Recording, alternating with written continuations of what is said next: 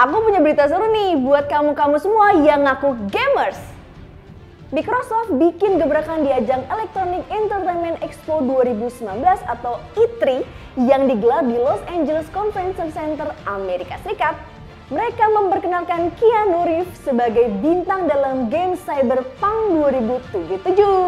Aktor berusia 54 tahun itu akan memerankan tokoh bernama Mr. Fusion dalam games tersebut. Keanu bahkan hadir langsung di panggung Microsoft. Wih! Cyberpunk 2077 sendiri adalah role-playing video game.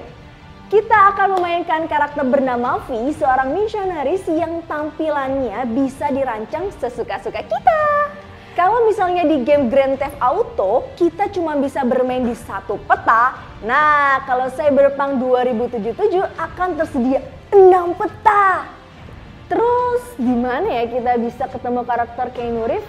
Makanya nabung dari sekarang biar bisa jajal Cyberpunk 2077 yang baru akan dirilis 16 April 2020 mendatang.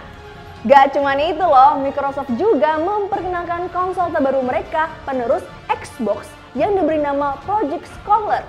Konsol ini bisa menampilkan gambar sampai kualitas 8K dengan frame rate 120 frame per detik. Jadi gambarnya pasti keren banget. Mau beli? Sabar-sabar, soalnya dirilis baru tahun depan.